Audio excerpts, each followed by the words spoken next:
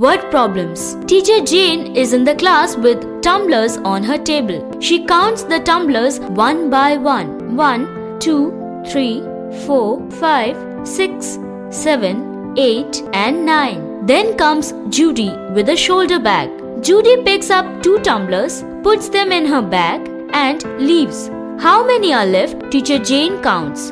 1, 2, 3, 4, 5, 6, and 7. 7 tumblers left. Quite simple.